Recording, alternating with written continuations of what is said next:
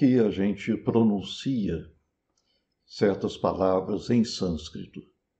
Ganesha ou Ganesh. A gente deve dizer Shiva ou Shiv. Existem muitas dúvidas que as pessoas podem ter a respeito da pronúncia do sânscrito e de palavras, por exemplo, que são utilizadas quando a gente fala a respeito de yoga, a respeito de filosofia indiana. No caso, Shiva ou Shiv são duas pronúncias corretas dependendo do idioma que você está querendo falar. Se você está querendo pronunciar o nome em sânscrito, então é Shiva e Ganesha. Mas se você estiver querendo pronunciar em Hindi, que é um idioma atual na Índia, um dos, dos muitos idiomas atuais da Índia, então você vai falar Ganesh e Shiv. Então são duas coisas diferentes, porque nós estamos falando de dois idiomas diferentes, embora os dois sejam da Índia. Sânscrito é um idioma antigo que praticamente nenhum indiano fala hoje em dia. O Hindi é um idioma que veio do sânscrito.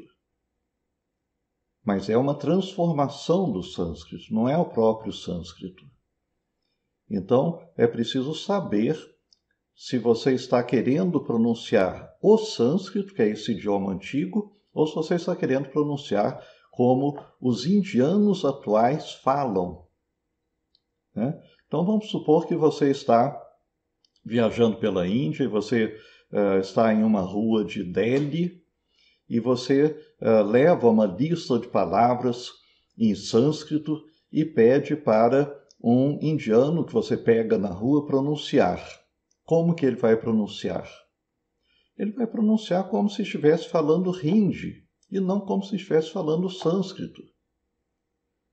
Agora, se você pegar um indiano erudito e perguntar para ele como se pronunciam as palavras, ele pode saber perfeitamente a pronúncia correta em sânscrito.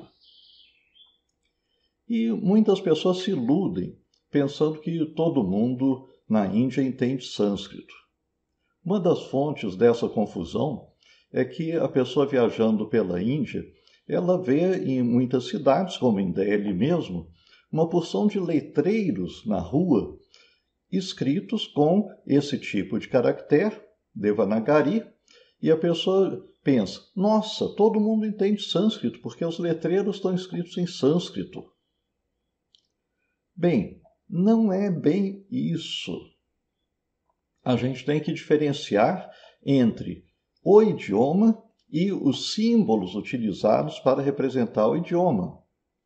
Então, os caracteres Devanagari podem ser utilizados para representar as palavras em sânscrito, como também em hindi. Assim como o alfabeto romano que nós usamos para o português pode ser utilizado para representar as palavras em alemão, em inglês, em italiano, em espanhol. E não quer dizer que os sons sejam iguais. Né?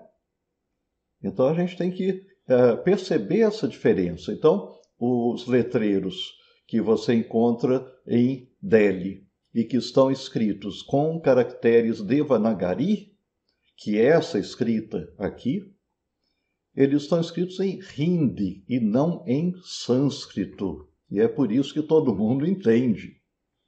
Tá? Então a gente tem que tomar bastante cuidado com essas distinções. E mesmo um professor indiano de filosofia ou de yoga pode pronunciar palavras sânscritas como se fosse em hindi. Então não é simplesmente porque uh, você foi até a Índia e ficou lá numa escola fazendo curso de yoga que você vai voltar sabendo pronunciar direito as palavras. Talvez não. Talvez não depende de quem for o professor. Você pode talvez passar um ano na Índia estudando com o Swami Fulaninho e achar que voltou para o Brasil sabendo falar os termos filosóficos em sânscrito corretamente. Talvez não. Talvez o Swami Fulaninho pronuncie como em Hindi. Tá? Então, ah, há muitas ilusões, principalmente aqui no Brasil. A gente tem a tendência a valorizar excessivamente qualquer pessoa de outro país. Então, se vier também um uh, norte-americano para cá e começar a dizer uh, palavras em sânscrito, a gente vai acreditar, porque, nossa, ele é norte-americano. E tem cantores, cantoras norte-americanos que cantam uh, músicas tradicionais indianas e muita gente tenta aprender a pronúncia do sânscrito através dessas músicas e cuidado, pode estar tudo errado. Aliás, os norte-americanos, por exemplo, eles não conseguem pronunciar o R no meio das palavras como em sânscrito e como até a gente pronuncia. Né? Então, eh, em português, arara. Como é que o norte-americano vai pronunciar? Arara. é o modo dele pronunciar o R no meio de uma, de uma, palavra. E se ele tentar falar uma palavra em sânscrito que tem R no meio, ele também vai falar dessa maneira. É totalmente errado, não existe esse som em sânscrito. Então, a gente tem que tomar cuidado, não se iludir com essas pessoas que vêm de fora do Brasil e que muita gente acredita piamente que sabem tudo. Né? E às vezes também com brasileiros que passam um tempo na Índia. Então, a fulana passou um ano na Índia e voltou e está dando aula de sânscrito. Muito bem, legal. E em qual universidade que ela estudou sânscrito?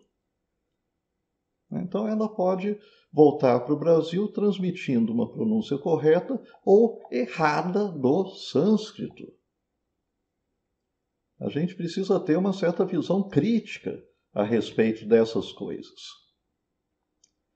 Bom, como o hindi veio do sânscrito, então muitas palavras são escritas do mesmo modo, exatamente do mesmo modo, são escritas em sânscrito e hindi. Por exemplo, Ganesha em sânscrito e Ganesh em hindi se escreve do mesmo modo. Mas a pronúncia é diferente. E a principal diferença de pronúncia entre sânscrito e hindi é das vogais no final da palavra. Essa é a principal diferença. Se a gente aprende isso, a gente consegue corrigir grande parte das pronúncias erradas que a gente ouve por aí. Então, uh, voltando a Shiva e Shiv, ou Ganesha e Ganesh. Qual que é a diferença principal? É a vogal final. Bom, e aí a gente tem que aprender que no sânscrito existem dois tipos de vogal A existe um A longo, forte, que é pronunciado A, e existe um A curto, breve, que é pronunciado A. No português a gente tem esses dois sons. Pensem na palavra casa. Né? K, então o A da primeira sílaba é um A longo e forte, aberto, K. O segundo A, casa. Z, a. Esse A do final de casa, ele é curto e é fechado. Então, existe também essa diferença de sons do A no sânscrito. Quando aparece A longo ou A curto no final de uma palavra em sânscrito, a gente pronuncia com essas diferenças. Quando no sânscrito uma palavra termina com A longo, é pronunciado como A longo, forte. Por exemplo, Durga. Durga é o nome de uma deusa indiana importante. Agora, se no hindi aparecer um A longo no final da palavra, ele é pronunciado como um A curto. Então, o nome dessa deusa, pronunciado em hindi, é Durga. Durga. Um A curto e fechado.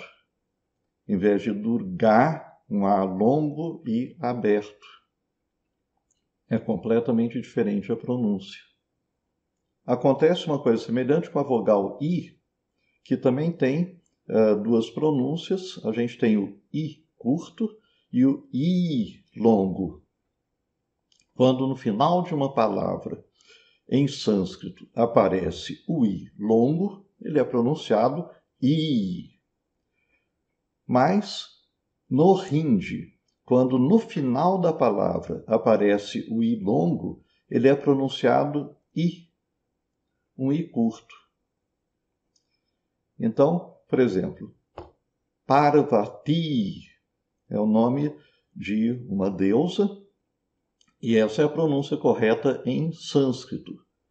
Parvati. Enquanto que em hindi vai ser pronunciado Parvati. Ti no final. Um I curto, fraco. Então as pronúncias são diferentes. Né? Mesma coisa para o nome da deusa Lakshmi em sânscrito. É um I longo no fim. I. Se você pronunciar em hindi, é Lakshmi. Mi. Mi. Um I curto no final. E esses nomes quase todo mundo pronuncia errado no Brasil. Por quê? Porque aprendeu uh, com alguma pessoa que, direta ou indiretamente, em vez de falar sânscrito, falava hindi ou algum outro idioma popular indiano. Não só o hindi, eu estou dando o tempo todo exemplos em hindi porque é um idioma bastante comum na Índia. Então a gente tem que ter essa noção de que existem pronúncias diferentes no hindi e no sânscrito. Eu estou dando apenas uh, alguns exemplos aqui, existem outras diferenças também. Né? E a gente tem que entender que, mesmo quando duas palavras são escritas de um modo igual em dois idiomas, como por exemplo o espanhol e português, a pronúncia é diferente. Pode ser semelhante, pode ser até igual, mas de um modo geral são diferentes. Então, se você estiver em uma rua de Madrid e você encontrar um local onde tem uma placa escrito churros e você quiser pedir um churro para comer. Bom, lá não se pronuncia churro, pronuncia-se como churro. Churro, completamente diferente de churro. Se você chegar e pedir um churro, talvez nem entendam o que, que é, porque eles estão vendendo churro. Às vezes as diferenças são mais sutis. Então, também, se você estiver em Madrid, você pode encontrar uma placa escrito uh, que você vai ler em português compramos bibliotecas. Mas um espanhol não vai falar compramos bibliotecas. Vai falar um pouco diferente, mas a diferença é mais sutil. Compramos bibliotecas. Compramos. Por quê? Em português, a gente nasaliza a vogal que vem antes de um M ou N, como se tivesse um tio em cima né? Então, compram, né? A gente pega o O e o A, já que eles são seguidos por um M, e a gente pronuncia como se tivesse um tio. Isso não acontece na maior parte dos idiomas. Então, compramos em espanhol. não é compramos. É um pouco difícil a gente perceber essas diferenças à primeira vista e mais difícil ainda a gente falar com a pronúncia do outro idioma. Mas eu estou dando esses exemplos para a gente perceber que, uh, mesmo quando se escreve igual, as pronúncias em dois idiomas podem ser diferentes. Uma comparação melhor seria uh, as diferenças entre o latim e o italiano. Então, dois mil anos atrás, em Roma, o que, que se falava? Falava-se latim. Salvete, nobiles mei, ex optati revenitis ad canale meum, hic metatromos allocor. Odie de lorica segmentata loquemur. Per nomen ipsum incipiemus, lorica segmentata, num se quocatur ab antiquis Romanis. Atualmente, se você for para Roma e pegar qualquer pessoa na rua, essa pessoa fala latim? Não, ela fala italiano. O italiano veio do latim, assim como o hindi veio do sânscrito. Mas a pronúncia mudou muito. Então, tem sons que existem em italiano que não existiam em latim e vice-versa. Então, Uh, por exemplo, o número 10. Vamos ver como o número 10 é pronunciado em latim e como é pronunciado em italiano. Ou então, o número 100 em italiano e em latim. Vamos ouvir. Preste muita atenção na pronúncia dessas palavras. Latin decem, in Italian it's dieci. Latin centum, in Italian it's cento. Latin decem, in Italian it's dieci. Latin centum, in Italian it's cento. Então, no italiano, existe essa pronúncia che, que não existe em latim.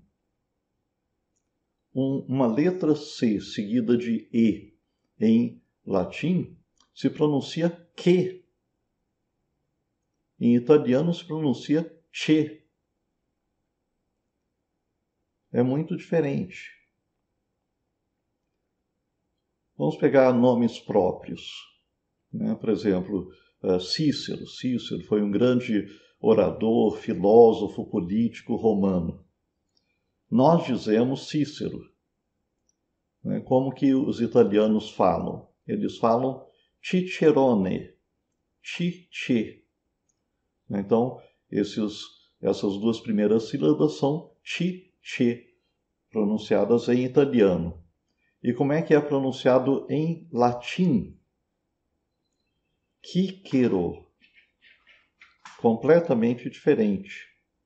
Ouçam, prestem bastante atenção na pronúncia dessa palavra. For example, Cicero, that's of course, Cicero is an English pronunciation. How did Cicero himself pronounce his own name? Kikero, Kikero, Kikero, ok?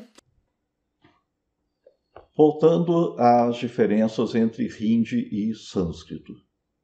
Então, o, o rosário, que é utilizado para contagem, por exemplo, de mantras, em sânscrito, Japamala. Japamala termina com A longo. Se você pronunciar isso em hindi, vai sair como Japamala. E a maior parte dos brasileiros fala Japamala, quando não fala Japa Mala. Né? Japa, esse som nem existe em sânscrito nem em hindi. Japamala em sânscrito.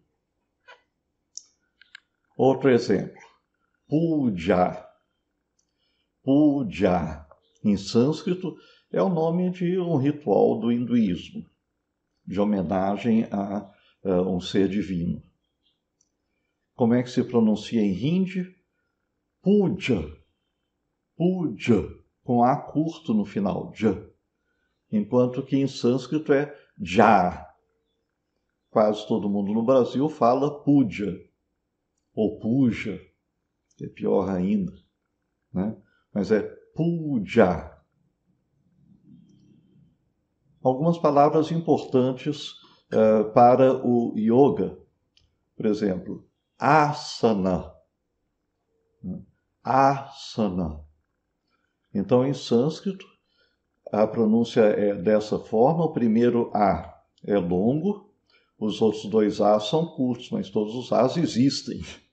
Enquanto que se você pronuncia em hindi, você vai dizer asan.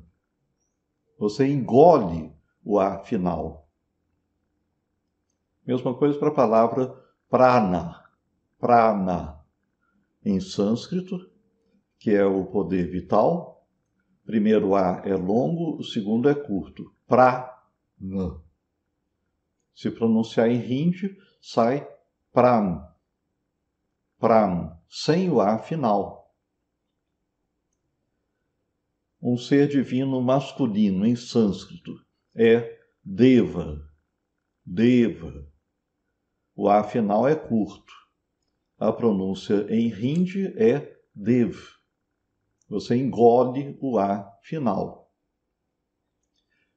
O feminino de Deva, então, um ser divino feminino em sânscrito. Devi, com I longo no final. Vi, pronúncia em hindi, deve, o I final curto. Deve. É, é diferente, gente. Né? Então, uh, só para dar um, uma, uma regra quase geral, né? as palavras em sânscrito que são terminadas em A longo ou I longo são quase todas femininas. As palavras femininas, a terminação mais comum é com A longo e I longo. As palavras masculinas e neutras, a terminação mais comum é um A curto.